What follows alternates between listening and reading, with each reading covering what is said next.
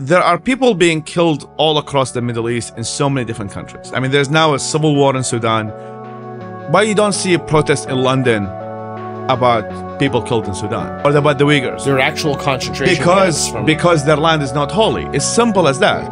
Is that the land where this cup where this battle is happening holds more value. Correct. It's kind of like when Wisconsin Electoral College has I guess eight times the votes of people living in New York. Right. It's kind of the same thing. Is that many people are selective about which human rights care they care about or which people they care about based on, on the fact that these people who live in that land have a holy association. I'm absolutely delighted to be here with my very close friend Faisal Al Mutar from Ideas Beyond Borders. We're at ARC, the conference. How are you doing? I'm doing great. How are you? Great. Let's jump right into it. Let's talk about Enlightenment values. They're under attack. Who's attacking them? Everybody. I think I think enlightenment is like one of the most attacked principle. Yeah. Um, and I think the authoritarians are. I mean, I think I think of enlightenment as like the antidote of authoritarianism. Yeah, I was mean, just going to ask you, how do, what do you mean when you say we did an event on this? And Yes. Our, enlight, our Western values worth defending, we changed to Enlightenment values worth defending. We'll link to that.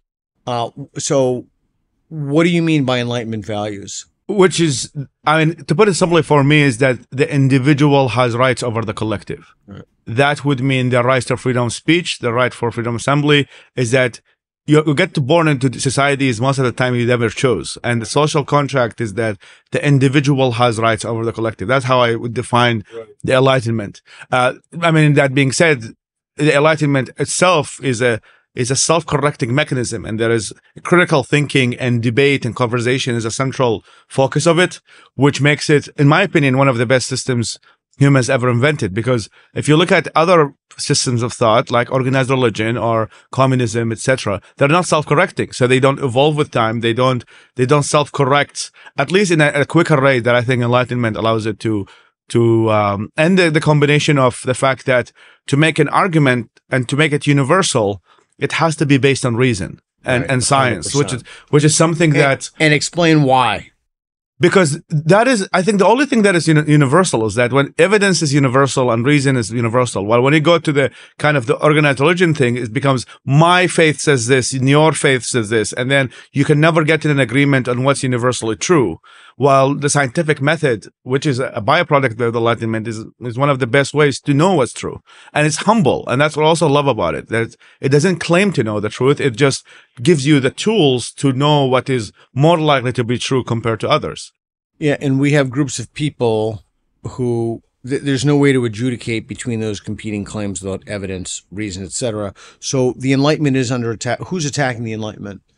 Well, I mean, I mean, I, I think now there is a very interesting uh, movement, I would say, which I guess this conference represents, uh, that claim that the Enlightenment has failed, or at, least is not being um, really fulfilling. And and I think there is some truth to that. I think I think emotionally, the Enlightenment is not sexy enough, bec- uh, compared to a war between good and evil and you're gonna go to heaven and the and the others are gonna go to hell. And and i think that in a way like uh it, it's it's not and I, but however when we apply the enlightenment we have reached far more peace globally. I mean if you look read steven pinker's work from better angels of our nature to enlightenment now what has created more peace? It's, is the fact that we no longer at least some of us reduce these concepts of I am the righteous person and the other people are the, are the bad ones and there is a war between good and evil.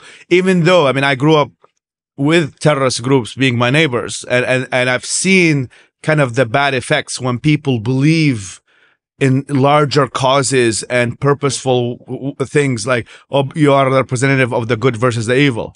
Um, and I, and I think that I agree with that. So I do agree with, with kind of some of the sentiment that enlightenment is not sexy enough. And, and I think many younger people, uh, after we kind of quote unquote reduce the influence of organized religion, um, people are looking for something sexier too. And I think that's part of the rise of people like Jordan Peterson and is that, uh, they are not cocaine. They're more like MDMA. So they're like, Right. they, they give you like some of the dose of religion, at, at least from a positive outlook, that's how I look at it. Is that like Jordan Peterson is like Christianity light, like or, or Islam light. He gives you like small dose, you know, kind of micro dosing, and and uh, and. I don't know. That is age appropriate for the audience. we get demonetized now. Yeah, banned from YouTube. yes, I, I think I think yeah, like I, I think part of the rise of of of, uh, of Peterson and others is is that they're microdosing, is that they give you that. And I and I mean, you're a philosopher. I mean, is it needed that you think people are prone that they need to have a purpose in life? Uh, that's a huge question. Um, that's a big question. I think people can make their own meaning and they they can make their own purpose. And the idea that I think many people who buy into religious traditions have it exactly the opposite. Many people believe, well, if there's no et- eternal record keeping of your deeds and of your sins, then life didn't mean anything. And I think that's exactly the opposite.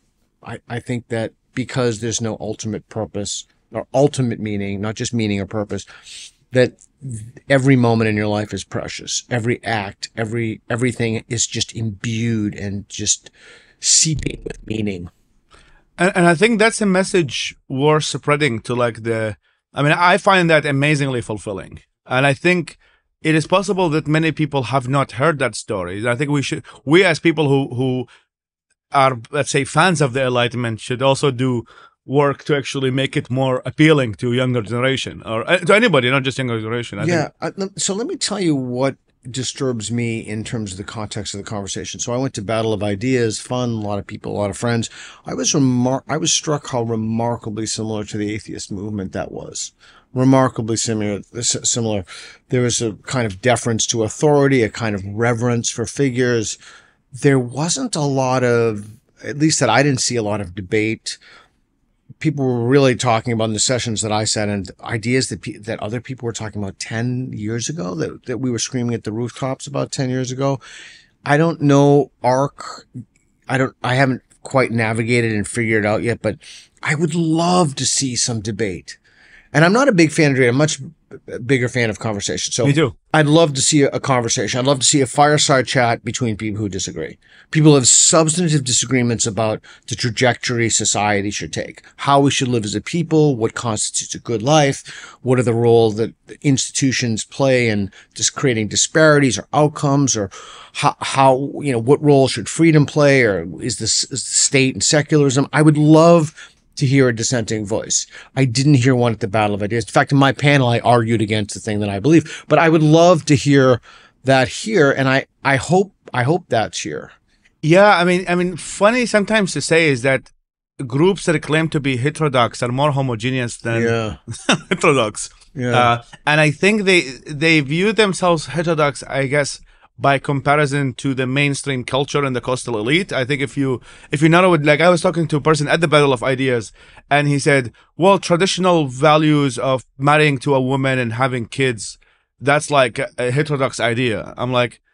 Buddy, that's like the mainstream idea in 90% of the world. Like, if you go to Saudi Arabia, do you think they're talking about gay parenting? like, right. so the thing is, so I think is like the, the, what is now sometimes being cornered as heterodox ideas is mainly I see it also some extent as a war between the elites. I think it's it's between the conservative elites and the coastal elites and and uh it's it's not so it's really not heterodox when you have no debates when pretty much everybody is agreeing with each other. Everybody loves their own echo chambers. Yeah, and, and I think that's another I think a bug in in the system. I think that uh people love to hear confirmation of their own ideas. I think ah, very few people are, are so, comfortable with. So I'm going to push back on that. I think that's a feature of these systems, not a bug. It's a feature of ideas, and and the and I'm inc- uh, battle of ideas. I'm incredibly sympathetic, and in fact, I buy it totally.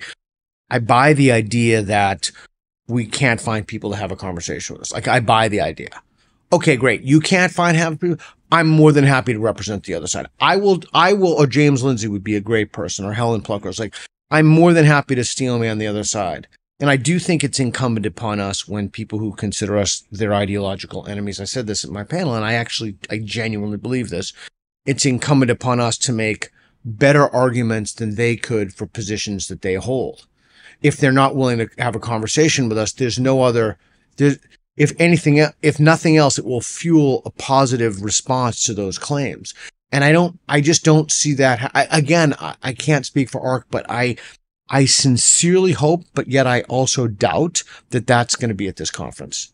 Yeah, um, and I, I, think I mean I'm more interested in problem solving than interested in, in just ideas alone. I mean I love to have debates. I love to, in fact, put myself in the other position to see what, and because that's how we can evolve as society is, is through, is through conversation, through the ability to getting feedback to, to your ideas to correct them. And, or sometimes somebody gives you an idea that you never thought about. And, and you are like, okay, oops. I'll tell you what I'm sick of. I'm sick of cliches and I'm sick of platitudes. I'm sick of it.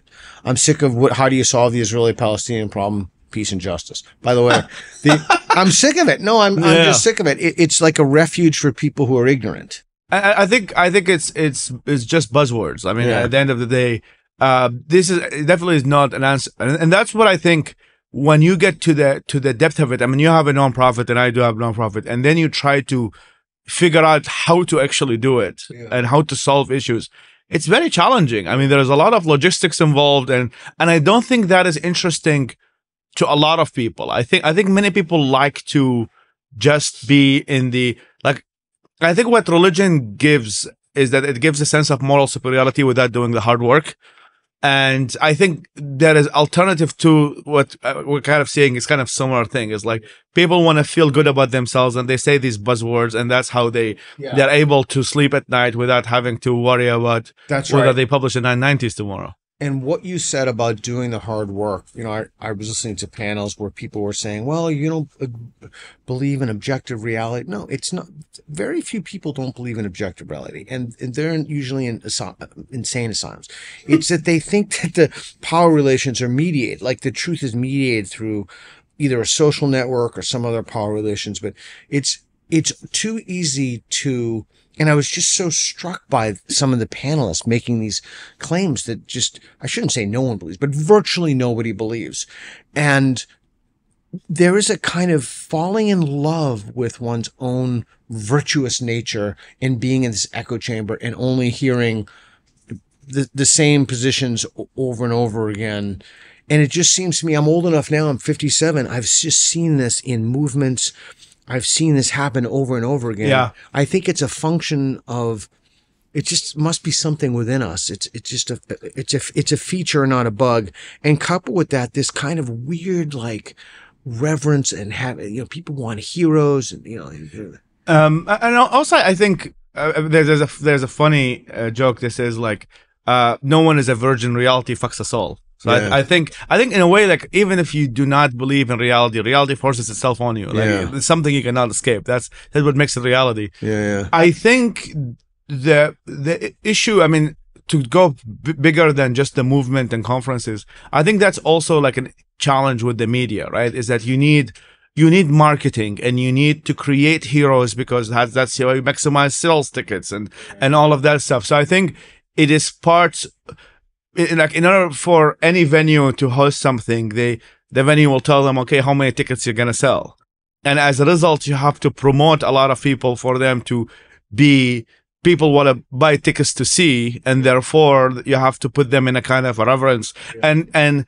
that kind of defeats the purpose because it, it makes it really hard uh, to criticize some of those authorities yeah. and and that the whole defeats the purpose of critical thinking and reason and because if you create like heroes and, and, and angels out of individuals, that's what get us into the problems in the first place. Is that yeah, yeah, um, yeah, and and and so I think that's something. W- I mean, we can solve if there are people who are interested in supporting the truth at its own on its own and not supporting the kind of the the buzzwords that are associated with it. Um, yeah, and I I wonder because I've been been pretty down about the general conditions of things. I just talked to to to our mutual friend Dave Rubin about this. I've just been pretty bearish on this, the, certainly the geopolitical situation, but also internal to the United States. And everybody likes a positive message. It's, everybody likes to, but I'm just, I'm not seeing it. I'm just, I'm just not seeing it. it- it's difficult. Um, I mean, the only positive message I have really, which is again sounds very counterintuitive, is that we are still living in one of the safest centuries on the planet and, and since human existence. I mean, if you compare us to 20th century and the 19th century, where True. or the 33 years war, where people are are burning each other in Europe. I mean, I mean, now we're in England, right? Like, That's the better angels of our nature. yeah, I mean, and, and there was a time, I guess, what sixty years ago, where the the planes from Germany were bombing the hell out of London, Yeah. and now you can grab a 20 dollar flight from Yeah, Berlin yeah. to London. Uh, I mean, that's that's I think the only things that gives me hope is that like there was a time when like world wars were killing tens mil- millions of people, and now many conflicts uh, at their extreme are killing much less than a million people.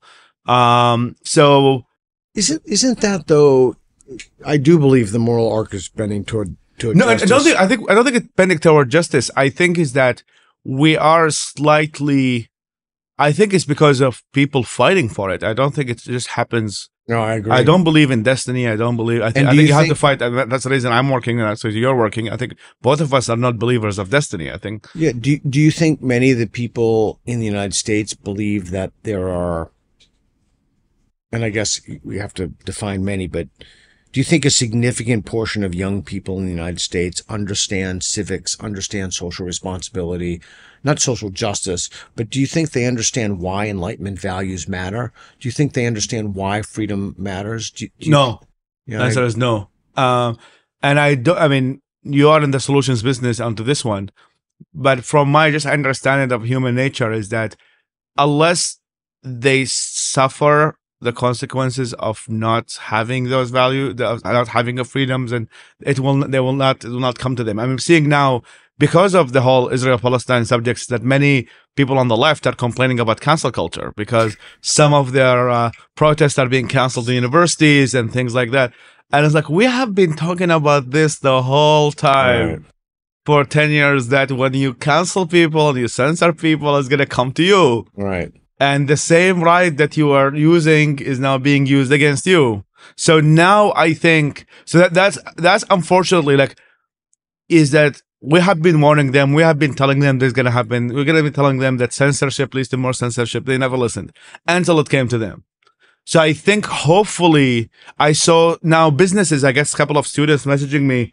So some of the businesses are not hiring people who have signed declarations blaming Israel for the attack, which was mainly the Harvard, the Harvard event. Um, and many of the students start running away from the signatures. They're like, I didn't sign this. I, I swear I didn't sign this. It was just a WhatsApp group. I said yes to, etc. But when they saw like the billionaires, who many of them support Israel, so like we're not gonna hire them.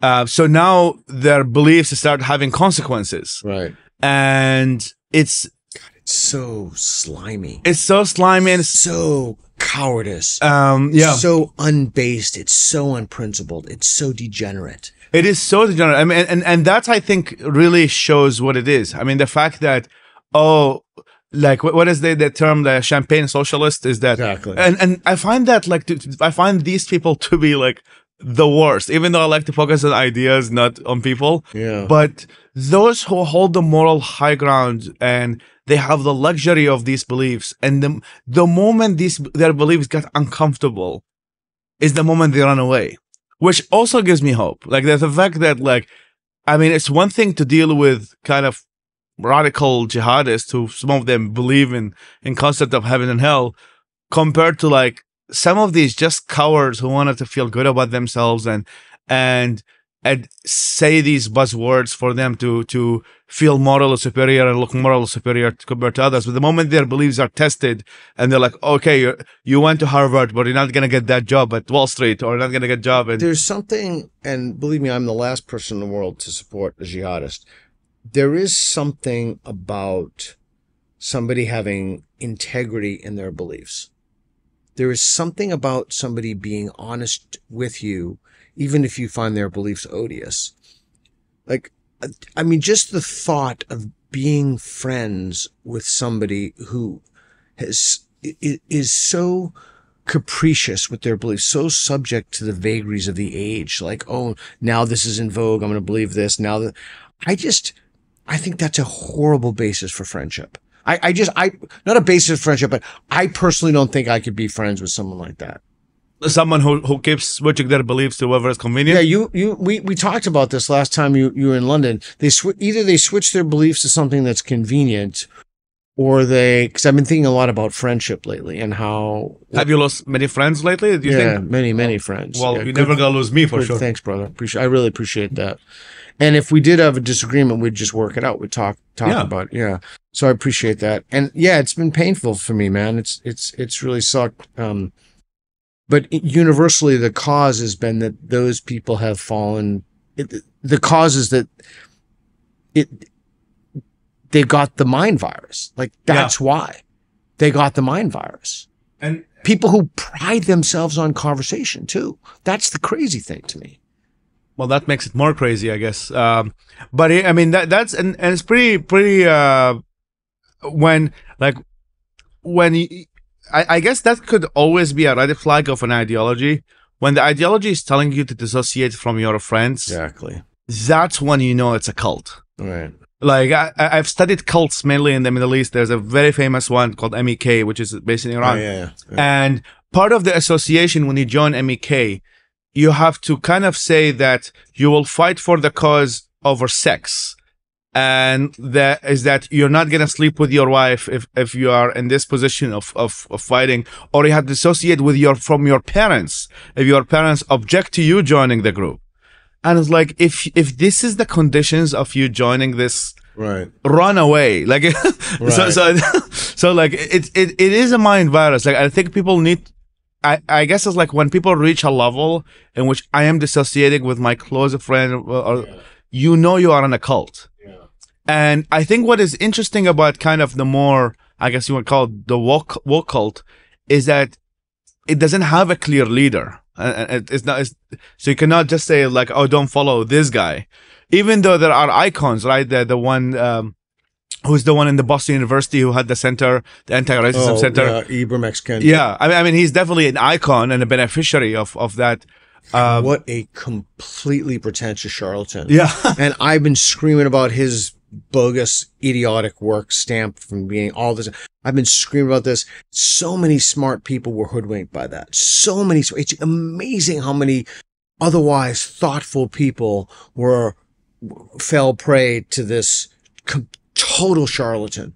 I think, and that is again, that's I would say one of the scariest things. Like, is that the fact, even those who, I guess, are reasonable for about a lot of things, suddenly suspend all critical thinking skills, and that's what always scares me. I mean, I- Okay, let me tell you what scares me. And you asked me about being hopeful for the future. What scares me is that these values are being promulgated by our institutions.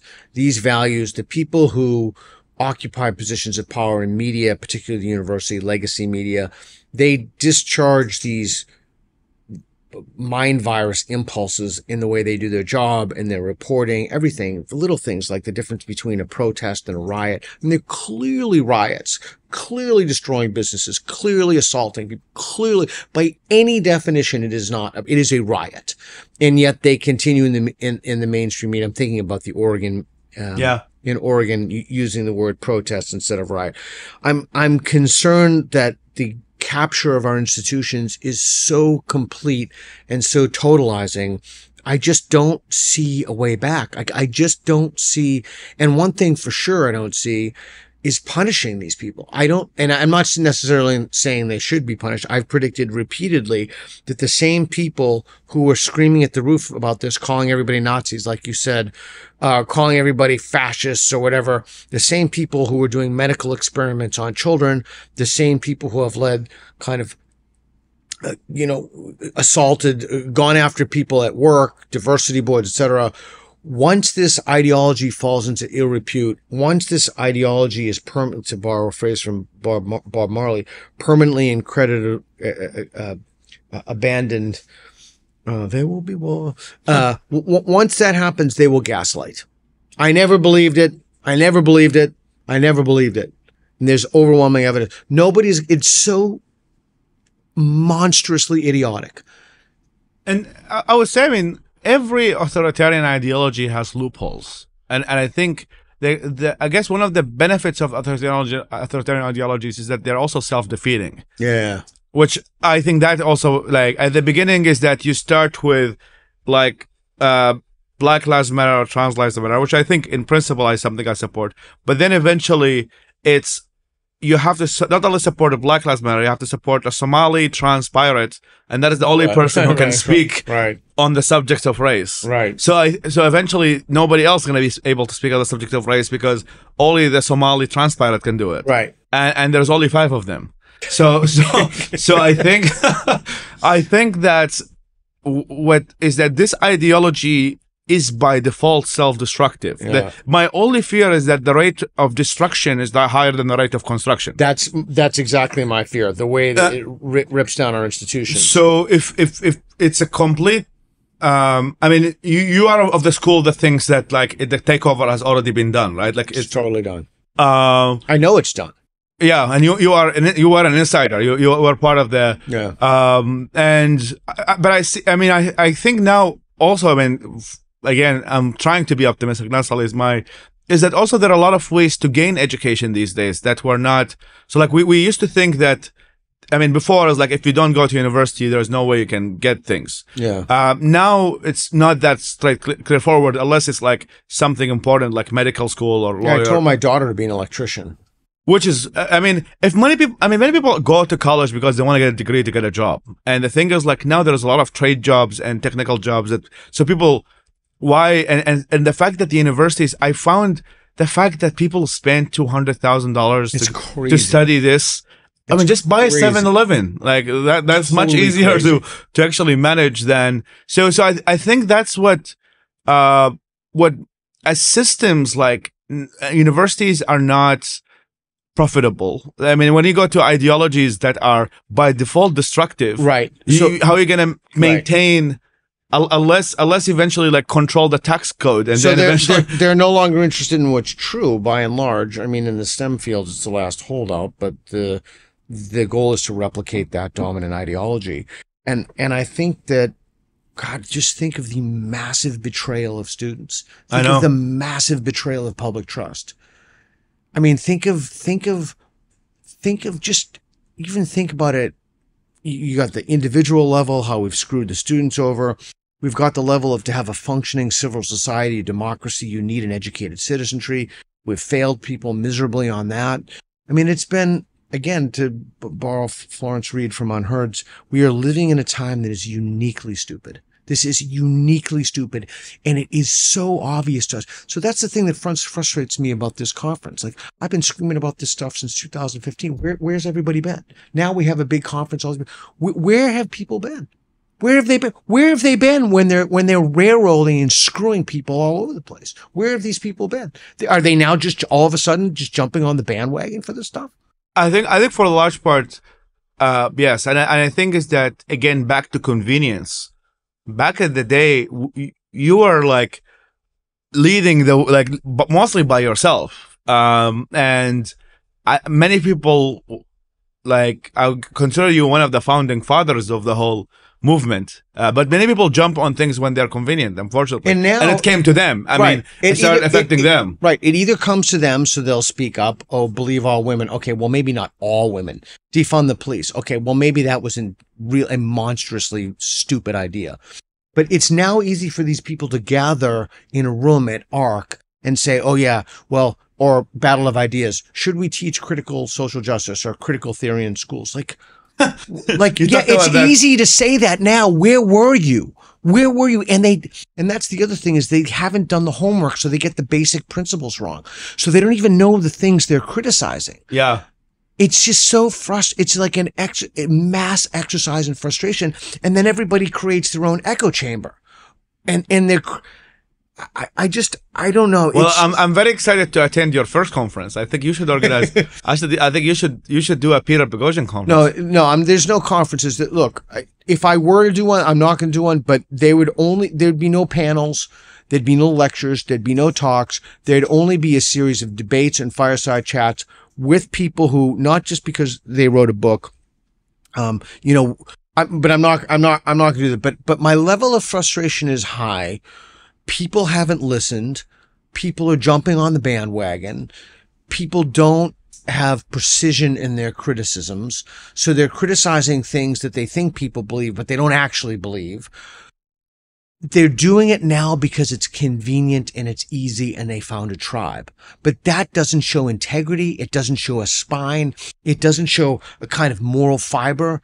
It's just very, the whole thing is just very frustrating to me. And then, and then we splinter off and we create other echo chambers. Yeah, I, I totally agree. I mean, I think one of my favorite conferences in the world, I, I forgot the name, but it, but it was, is like, they they bring in a lot of people who- with like within the international development phase, and they give us a challenge. Yeah. And each one of them, there is the philosopher, and there is the international development person, and there is the logistical person. All of them work together to solve a problem. Yeah.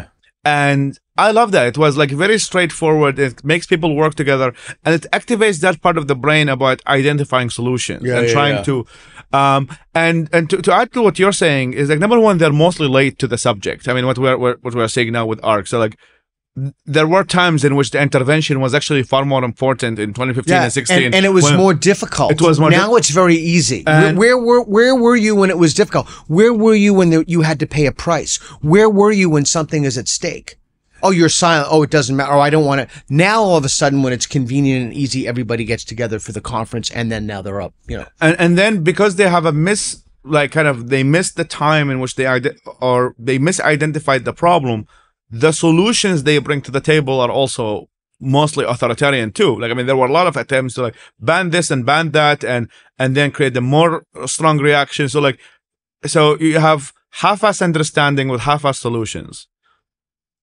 Yeah. it's it's only gonna make things worse. And and, and sometimes i'm m- more against like i'm against half-ass solutions because they backfire more than sometimes not having any solution at all Yeah. um so yeah i mean i, I think how, however i mean is it good that there is now a lot of people i guess awakened for the lack of a better word um, uh, against the the the totalitarian woke ideology i guess Well, yeah, unless they unless they themselves are a kind of uh, totalitarianism, unless they Which unless is the common. yeah, unless the axis that the, the the propositions they're espousing are ant, are authoritarian or anti-enlightenment, unless they want to create a kind of secular blasphemy where whatever issue of the day they don't want talked about or they don't want dissent view, viewed. And I see that as an inevitable trajectory. Again, I, I can't speak. Yeah, I, I mean, I mean, I've heard actually some of the. I think it's Ba- Battle of Ideas. One of the people told me that they want to ban critical race theory, but they also want to teach the Bible in schools. yeah, yeah, I'm like, oh, that's one one way of yeah. solving So things. that's exactly what I'm talking about. yeah. So I was like, and and so so in a way, it's like you're just replacing one. Right. you're just replacing one idea with another. So like you're still forcing people to. Well, I, I just as I saw you, as I pulled you in here, I had mentioned someone that I moved out of Portland as one of the best decisions I've ever made, and some guys like, well, you know, go to Ida Reed was there, go go to Idaho, you know, there's, you know, no money for abortion, and they have all this stuff and this, and he's like listing off these talking points, some of some of which were quite authoritarian. And I'm like, wow, you you like you just you just don't see it. Like it's a ki- another kind of tribalism that uses the same enforcement mechanisms, and then you create these ideological bubbles, as opposed to saying, okay, well, what's the reason? What's the evidence? Let's take a look at it. How do you know it? Let's have a kind of a conversation. Maybe if you don't, if one doesn't like the word conversation or argument map, whatever you, you whatever you want to say. But I'm I'm concerned. I, I share your concern. I mean, I, I I don't believe in solving authoritarianism with another one. Yeah. Uh, I mean, what's the point? Yeah. Uh, even even if if I mean somebody might argue is that which I've heard some people even within our movement, some of them with our our friends would say, well, I mean they're authoritarian but not as bad. Like I'm I'm Right, willing to side right, with right, I'm willing to side with the group with the person who bans Harry Potter in school right. Because he's a lesser evil than the person who wants to teach critical theory, theory. So I, I still, I would say, I haven't bought that argument because I think not to make both sidism, but it's like when reason and and and critical thinking are not the ones being promoted. I am not a fan in default, and and and the thing is like to be kind of forced, like again, I I still have some idealistic side in me that that believes that humans are actually not that dumb. I think I think I think I mean my whole organization is based on the concept that if we make these tools available, critical thinking and and and, and enlightenment values available, and make them accessible um, in lang- different languages and in different different approaches, I don't think that the majority of people. So like this idea is that kind of parental approach is or replace the critical race theory with the Bible or, or all of that. Um, I, I, uh, in, in fact, why not just teach people critical thinking and let them choose whether they want to choose the Bible or, or critical race theory or find what's right there and what's wrong there. All this stuff would disappear almost overnight. Exactly. So, so I think, I think some people seem to have given up on the concept that, which I think is, is a sad story on its own, is, is that they have given up on the concept of the Enlightenment altogether. And now we actually have to pick a side. I agree. Um, or even worse than giving up, they they were taught to just a priori, right from the get go, discard it because it's racist. It it seeks to you know reify or support existing power structures, or Which was the thing we heard in Portland, right? In, correct. in our panel when somebody showed up at the end who I don't think attended any of the speech and she I said know. that in Enlightenment values is the cause of slavery. I'm Right. like, have you heard of slavery Right. outside of the Western world? Or actually, Right. That's right. I mean, the last But country- that's what they're teaching. yeah. Yeah, yeah. Um, and and Leva said she she didn't attend any of, but she just heard that Enlightenment equals slavery, um, which is uh the complete opposite. But but yeah, I mean, I I, I say. I think we have to push our. I think. I think your work is very important. I think. I think we we have to give it our best shot, uh, and see what Well, happens. what- I mean, there- there's no other alternative. There's no other There's- enlightenment values are worth fighting for. Reason is worth fighting for. Rationality is worth fighting for. It's worth fighting to live in a free society in which people have cognitive liberty. And yeah, there will be authoritarian forces on the right and the left and some other access that we probably can't even imagine right now for some other set of beliefs that we can't imagine. But we, we know we know the answers to the problem in terms of structures of systems, enlightenment values. We know how that can manifest in many, not every policy decision, but we we know the answers. We don't need to. cr- That's the other thing. If there is a reason for optimism, is because very smart people, far smarter than I and you, frankly, have already done the work for us. yeah. So yeah. we've we we have inherited this incredibly rich tapestry, this tradition. We know that these values are timeless. We know that they're rationally derivable, and we know they work, and and we know they work. Yes, and and and whatever they're applied everywhere, and and, and uh, the data also like, and and to be honest, I mean, I love lived under authoritarianism. It's not that fun. And to give you like one story, which I which I learned is that I mean, it's always a big question about how did the Ottoman Empire f- fall, and one of the reasons actually I verified was one of the um, the sultans believe in astrology, Oh. and he decided to go to a war when the astrologer told him like this is the best month to go to a war, and then he got his ass kicked. So imagine, like, I mean, the, the story is funny because it actually that what happens when policy is based on astrology, Yeah, not based on reason. right. You can have the, your whole entire country destroyed or losing uh, tens of thousands of people because your leader believes in superstitious bullshit. Right. So, so like, I don't Reagan had astrologers in the White House. and, and that's scary. A White House astrologer. I mean, I mean, to be honest, that's scary, especially when you have a country with nuclear weapons. I mean, right. I mean, it is it. So, so we know like the consequences of the non-rational beliefs Right. Are actually pretty high, and the history is filled with destruction and deaths and and all of that because a lot of it is irrational. Does that mean that? Oh, like we have the right answers? No, we don't. But the, but the whole great thing about the Enlightenment is the self-correcting piece, is the open debate, is the fact that uh, when we talk about, about each we talk to each other, we don't invoke a higher authority that nobody can dispute or even talk to. Right. So eventually, like, and the argument on its own can survive, not having to utilize gods or or any. Uh, so I, I think, Yeah.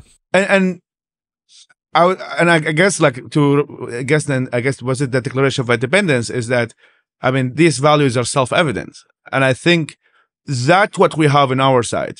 We still need to work better on making it more um, accessible and more, I guess, sexy um because i i list i've listened to like peterson i've listened to many of these people sometimes I actually don't know what they're talking about. Like sometimes like it, the conversation goes for four hours, and I ended up more confused after watching the Thinking four of hours. someone that I have no idea what he's talking about 99% of the time. But and b- but I see like the appeal, and I attended a couple of his events in in the Beacon Theater. oh, Peterson, I think I think Peterson's super clear.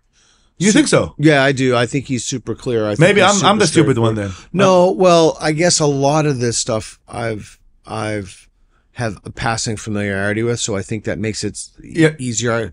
I, I I was a psychology major. I read psychology. I don't read psychology books, but I I like I'm a big fan. I I read articles all the time. I love reading articles, but um one of the things I want to say that I think is so unbelievably important that you do, like I'm not BSing, like Nobel Prize winning important, like I legit believe this, is the translation of Enlightenment texts into Arabic. I mean, And one of them is- was your book, How to Have a Impossible Conversation. was it really? Yeah. You just told me that right now. Wow. Well, thank you. I appreciate that. Um, thank you. I appreciate that. I think that we are here. I'll offer a solution. I think that we're short on listening. I think that, like, if on a personal level, when I look at my own life and mistakes I've made, relationships that I've had that haven't gone well, or I think I haven't listened enough to what people want and I think if I were more open to trying to understand their point of view, I personally would have benefited from that. And I think as a society, that's also the case. We face somewhat of an intractable problem in that the people we want to bring to the adult table to have conversations like this about things that matter, like trans issues, for example, whether or not how, how much that matters, we, we can have that conversation. But these people simply will not have the conversation. Yeah. So I'm, I'm going to come back to my original claim. Then it's incumbent upon us to make their arguments for them better than they could have made. And it's incumbent upon conferences like this to bring in people like James Lindsay would be the perfect person. He would be the perfect person for that. His Oxford uh, debate, he did that, but I would have done it with more, um, you know, for, for has wokeness gone far enough? He argued wokeness can't go too far. It leads to the ruination of society, and that's good. But without that uh, facetious uh, nature at, at the end, and one of the things I see happening is that we are not only creating echo chambers, we're, we're experiencing this in mass. Yeah. Like the whole society is experiencing this. and uh, you you see it also with with with the fundraising and the foundations and stuff like that is like oh i've seen you receive money from this organization that we think is Right. bigoted or too Or libertarian or talked, too- or even b- offense by proxy. Oh, you talked to this guy. yeah yeah I, I- i've got that a lot over the over the over the past even though i would say our work has been hardly can be described as political in terms of however it's like oh we've seen you taking a picture with this person we've seen So that's the other thing I want, I want to mention to you. The thing that I find also s- stupid, although not uniquely stupid about this, is that people frame things in terms of right left. I don't understand, like, why would you even think about that? Like, what is the evidence? If the evidence is good and Trump happens to believe it, then that's good. Then we should do it. Or Biden or whoever it is. And that's another thing. Don't get me started on the, the fact that we've picked those two guys out of the whole Yeah. country. By the Don't way, that was my started. first Shut election my- as a U.S. citizen. God. So I became a citizen in 2019, and my first election as an American was picking between Trump and Biden. I'm so sorry. And I'm that truly sorry. that was not the most sorry uh, about that. the most fun experience, but uh, But it, but it is frustrating to me to hear these things framed in terms of not in terms of evidence and reason, but in terms of oh, you know, this broadly com- they won't say this, but this broadly comports with our ideological stance. That's just I, there's something about that.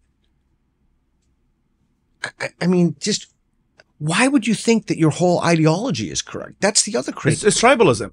I It mean, is total tribal. It's it's that people want to belong more than they want to be right. Yes, They want to signal. They want to. and and uh, I've I've seen it. I mean, again, I grew up in a civil war. I've, Yeah, I've yeah, seen people lose their rationality or to the extreme. Like there were kids who used to play soccer together. As suddenly the civil war broke off, and then the rule of law was destroyed, and then Yeah, yeah. oh, you are Sunni, you're Shia, you're Kurd, you're this, you're Christian, and everybody went. I guess what people call the primary identity, which is Yeah, like yeah. the most uh, basic of the basic and Um, Yeah. and it's it's scary to watch. Um, I mean, it's, it's scary. It's scary to watch in real time, but it's also scary to watch it in more freer societies like America, Yeah, yeah, where people actually have a choice not to be tribal. And that's actually what I think more. But at least like in a civil war, you have to kind of pick a side because your survival is dependent on it.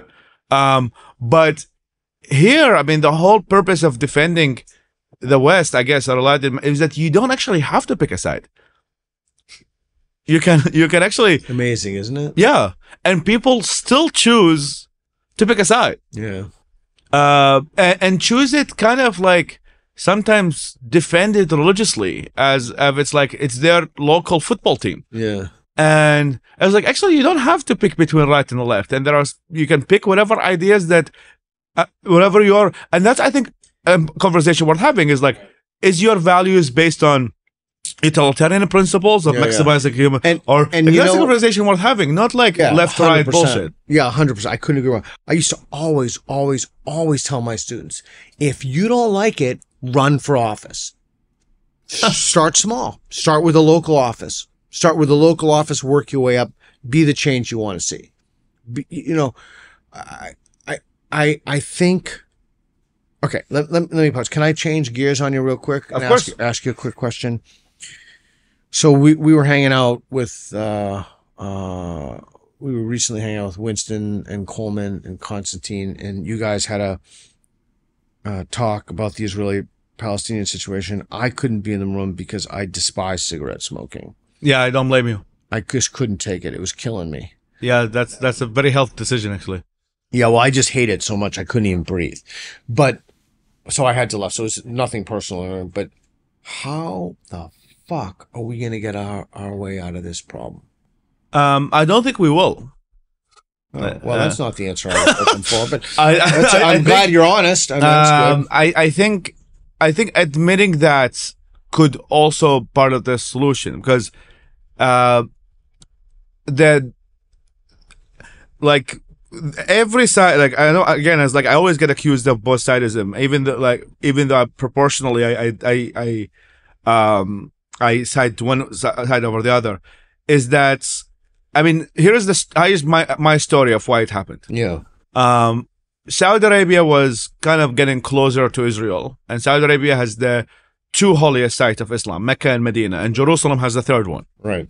And uh, what happened really at its core was Iran vetoing that and saying, we're going to stir the whole shit up inside the Middle East. So, in that way, we're going to see the Israelis killing more Muslims, and therefore more Muslims will side with us as Iran over the Jews. That's as simple. What that's what the conflict is about. Right. It started inflamed, and most intel, intel suggests that that's the geopolitical game. Right. So, however, so that's like if you are zooming out big picture, that what happened. And the more rational response is not to take the bait and try to actually advance peace more than trying to to play on the on the emotions. However, because the attack was so emotionally like strong, like we are seeing women being raped, we're seeing people getting kidnapped in front of our eyes, as what happened on October seventh, then Israel emotionally cannot not respond in in a more very uh, kind of violent way. Um, so it's really like a catch twenty two to some extent, and I think that it's. Uh, I mean, I am affected. I mean, one of the translators of Neil deGrasse Tyson was killed Yeah, by an Israeli yeah. airstrike. Who she she lives in Gaza. She's like a a young woman just translating science books and stuff like that. Um, and we had to like kind of reach out to our family and and, and let so her know. sorry. So I'm I'm dealing with this on a personal and a professional level. And honestly, like many of the people who are getting killed have nothing to do with the whole thing, right? Like the, the civilians and and they are like the um but ho- however, because this land again has such a uh, I don't know, have you been to Israel yourself? No, I have. Um, I'm especially not going to go. Read and I are not going right now. I can assure you. So like the the I've never understood it, and I think I, I get the I have the luxury of of kind of grow up kind of secular in which I don't look at any land as being holy in any shape form, but you do have mm, tens of millions, I mean actually hundreds of millions of people who believe this piece of land is like the, the land of God. I completely yep. 100%. And that itself is a non-conversation starter. Well, Read, Read I just um, want to interrupt real quick. So, Read and I have been asking people this question. We do the, you know, the street epistemology. Where we go around the world and ask people this. We've been asking people, is this conflict about religion? And I am flabbergasted. I am flabbergasted by how many people say religion has either absolutely nothing to do with, almost, but it's so obviously religion plays some role. Of course, yeah. I mean, you know, when you ask the socialists is- or the communists, they're like, "No, it's all about capital." Like all of it. Yep, all we have videos, and we have it on video. They're like, all, "Like all of it? Really? Like hundred percent of it?" Yep, hundred percent of it. um it's yeah i mean i, I mean that's here is the thing because because again you're not going to expect religious people to also be not contradictory because they contradict themselves all the time um it is i mean if you look at the protests right now right um there are people being killed all across the Middle East in so many different countries. I mean, there's now a civil war in Sudan, Right. killing tens of thousands Correct. of people. There's why would why you don't see a protest in London about people killed in Sudan Or about the Uyghurs, or about the Uyghurs? their actual concentration camps Because from because their land is not holy. It's simple as that. Yeah, yeah. It's not like that. People uh th- like necessarily think is that the land where this cup where this battle is happening holds more value. It's kind of like when Wisconsin electoral college has 18, I guess eight times the votes of people living in New York. It's kind of the same thing. Is that many people are selective about which human rights care they care about or which people they care about based on, on the fact that these people who live in that land have a holy association. Otherwise, you would see 200,000 people protesting in London against the Uyghurs, or you see them, or, or, so, so anybody who kind of dissociates that, um, from, I mean, are there, I mean, the interesting thing with, with kind of the conflict is that there were a combination of religious and nationalistic movements in the Arab world against Israel. So both, I mean, one of the first people who invaded Israel was Nasser, who was the president of Egypt, and he was anti, not anti-religion, but, but he was a secular leader. So, so in a way, from the Arab nationalists, you can have Arab nationalists who oppose Israel purely on a kind of, that this is Arab land and they have taken the Arab land, or you can have the religious people from Pakistan who are like, oh, this land is our land as well because we are Muslims and, and the Aqsa Mosque is, is there. Right. So I, th- I think is that it makes it, and, and, and then you have kind of settlers in, in West Bank believe that the West Bank is part of Judea and Samaria and, and that's the, how the Messiah is going to come back. So if this is kind of the starter of their conversation, um, and, and th- there is like, yeah, it's kind of like there is a massive, I don't know, giraffe is, is sinking in in the ocean, and you have to like get it out, and and, and it's it's it's uh it's not impossible, but it is I think the closest it is to impossible because reason gets thrown all over like how can you reason between two groups who say this land is holy to us and i think is that So you're you're not so okay. So one of the things that we've learned when we've asked people with justice is that they mean something. They traffic in a very different notion of justice. For them, justice is kind of something retributive, punish punishing. You know, punish the the. Uh, they won't say the Israelis. Some will, but they'll say the Jews. Punish the Jews for. And again, I'm not. I'm not. I'm explicitly. I'm not siding. I'm just telling you what they've told me. Yeah, yeah. Because I've tried to understand what they mean when they say just. Like I genuinely am interested in what they believe. Like I'm actually interested in yeah that. when you do a good job in, Oh, thanks. to figure, Thanks. fi- figure out the, the rules I, I appreciate that because unless you figure out what someone believes, it's almost impossible to figure out how what how to solve it. 100% yeah Yeah. So w- what they mean by justice is some kind of weird equity, like some kind of like we've been p- punished and then we must punish and then we have I, I in but the but that's not evident when you just hear the word justice. Like you I like I don't when I think of justice, I don't think of like any kind of retri- retribution. Like I I for past sins in particular. Okay, so bracketing that, what do we do about this? Is it excuse me, is it a two state solution? Is it what do we how do we move forward in any meaningful way? Because you know, one of the things that you said when I won't name the person's name, but they said, well, you know, we, we have to answer for this. And you're like, well, what happened? What if it happens in the West Bank? And they're like, well, we need to answer to that. Do you remember that? Yeah, yeah. And, and then and you was like- said, and then he, and this person said, this individual said, well, every time that, and you said, well, what about Lebanon? And, and, and, and you said something like, he's like, this is what we must do. And then you said, well, this is a hypothesis we're going to test. Let's see how, we're about to test this hypothesis. Let's see how that works out. Do you remember that? yeah, yeah, and and and, and we're gonna see that. And I, think um, unfortunately that's what it's very likely to happen. I mean, this that- could not possibly end well. I mean, No. not not po- no in Um, no possible way could the murder of, and I think there's going to be murders on both sides. Mars, and, and what what I think is uh, is that the uh, let's, let's start with, again with the beginning of the story. The the perpetrator, which is Iran, Iran believes. I mean, just I, I think it's very important. This says so. The term Ayatollah means you are the representative of the twelfth Imam, Right. aka the Messiah, until the Messiah comes back. So this is how Messiah, and there is this quote which I think is verified, and I and I looked, looked further and I looked at Farsi. It's kind of crazy quote that said, "If Iran gets nuclear weapons and they attack Israel, and there are six million Jews go, uh, six million Jews get killed, and fifty million Iranians get killed, the fifty millions will go to heaven, and the six million will go to hell." That is a, that is, I think, a quote from the leader of Iran.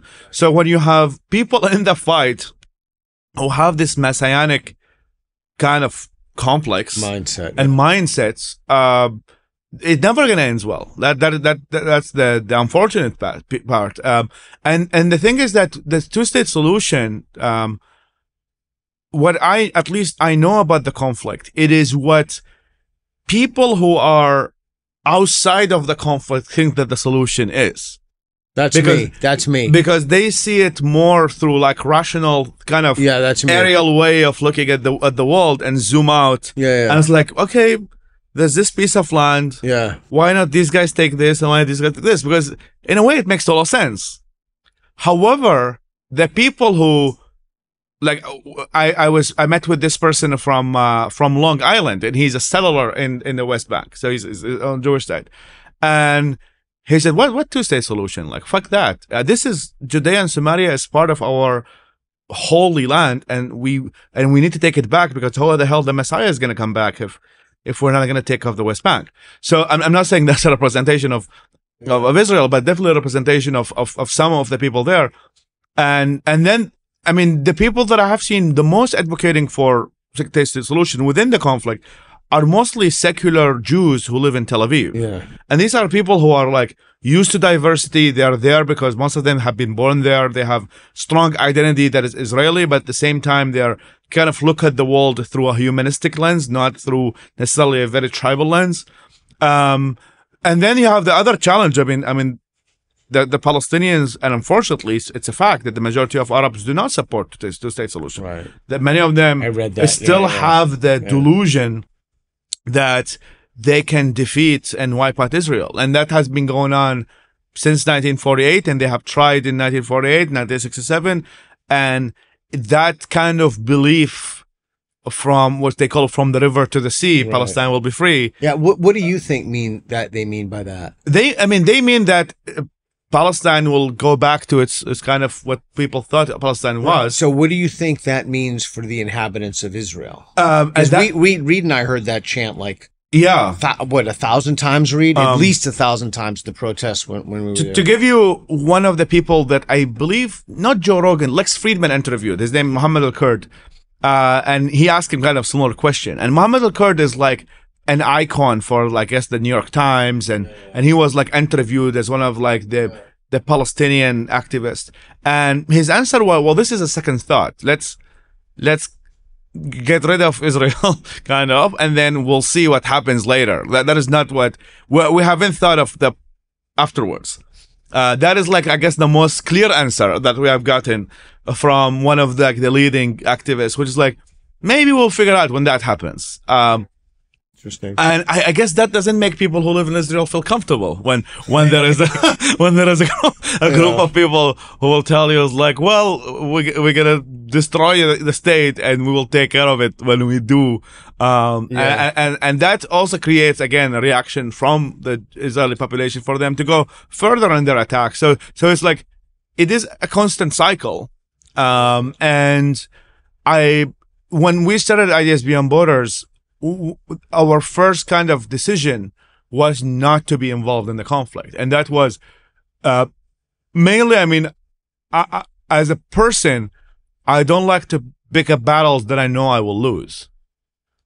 And Yeah. it, it is it's one thing to talk, and that's what I find even interesting about the Middle East is that, and I've seen it in the past t- two weeks many of the atheists in the Middle East, so if they like, when I, let's say, let's bring Sam Harris solutions when he was talking about the Middle East, about, oh, the solution to kind of radical Islam is to make everybody an atheist. Let's take that, the new atheist perspective.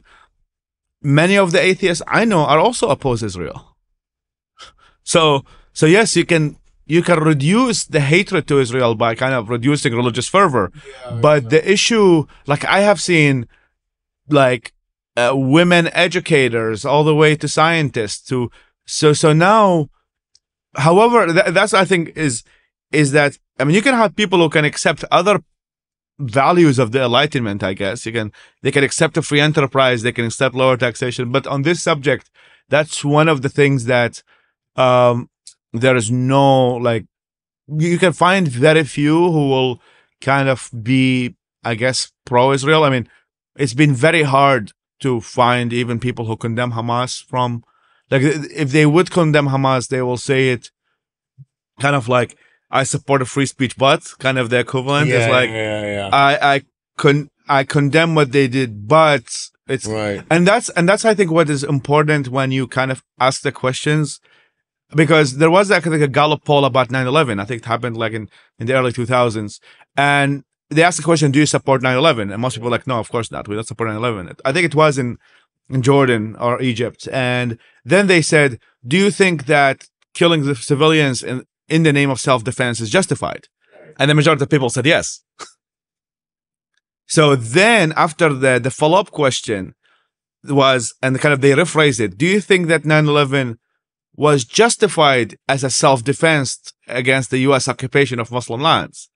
And that's when a lot of people start saying yes. Interesting. So the thing is, like, you really have to dig further than you tell people, oh, do you support Hamas or do you condemn Hamas? And because you really don't get a clear answer. Like, only very few will say, yes, I condemn Hamas, and then they stop. Like, or I condemn the attack and they stop. They're always going to be like, I, I don't think that's what was good, but this, this, but that is kind of a response to the, to the continuous years of occupation of 70 years and things like that. And that's what Piers Morgan, that's where the guy that they had, Yeah. multiple people that they had. One of them is a person I debated who was Bassem Youssef. Um, and he, I mean, he, he f- became popular in the Arab world for trying not to like to, to condemn the West and condemn the West support for Israel. Um, so yeah, it, it's, it's a very, uh, I mean, I, I think that it's one of those conflicts that I don't think that uh, both sides are willing to negotiate, and and the All more right. there's kill people dead, the less people are willing to All right, negotiate. listen, we need to wrap it up. I just want to say a few things. You know, I've said repeatedly, it seems to be the lowest of low hanging fruit that universities in particular, where, where Jews, not Zionists or anything, pe- people who are Jewish are under assault, under attack. And I've said repeatedly, like, issue condemnatory statements. Like, just condemn this. This is, this is wrong. yeah, I mean, the same people screaming about microaggressions. You don't have to take a political stance. In fact, I don't think universities should take a political stance about anything. I, But I the, agree. yeah, but the fact that that that Jews are under assault in in the society and particularly on university campuses, which is their purview, it seems to be the lowest of low hanging fruit. They won't do it. Okay, let me tell you. I want to tell you wrap up real quick with two things. You know, you said something years ago. You taught me something. I want to tell you. I don't know if I ever told you this, but you told me something that was great. I was asking you why um mil I think this is in Canada we had this conversation a decade ago. Why is it that radicals, radical Islamists are against secularism. Do you remember this conversation?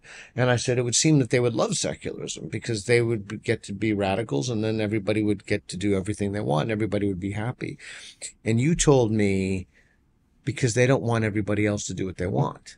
They want everybody else to believe what they believe. Yeah. And that was a huge light bulb for me. Like that was a, that kind of not let, less so that one particular thing, but how that weaves its way through thinking, how that one idea that if we have, and you can substitute secularism for anything else, like we want everybody to believe this. And it's not that we want everyone to have cognitive liberty to believe whatever they want. We want people to believe what we believe. Yeah. And when you start thinking about the conversation that way, I think it changes. Okay. You're a very close friend. You're an awesome human being. I love you like a brother. Where can people find you? Um, well, Ideas Beyond Borders is one of the easiest way to find me, but I'm also available on Facebook, Twitter, everything. So they can just search my name and find me there. And Faisal Almutar. yes, Faisal Saeed Al Mutar. That's the way to pronounce it in Arabic, but it's Okay. uh, but people, it's the easiest way to remember my name is Face with Al Faisal. Faisal. Yes, Faisal, Saeed Al Mutar. Okay. Yeah. Well, thank you so much for having me, Peter. All right, this thanks, is brother. this is Appreciate amazing. it. Appreciate appreciate the conversation. Thank you. Thank you for watching. Everything we do is under the umbrella of the National Progress Alliance, nationalprogressalliance.org. It's a nonprofit, independent 501c3. Your generous donations keep us going and keep fueling content like this. So please help us out, make a donation. We very much appreciate it. Thank you.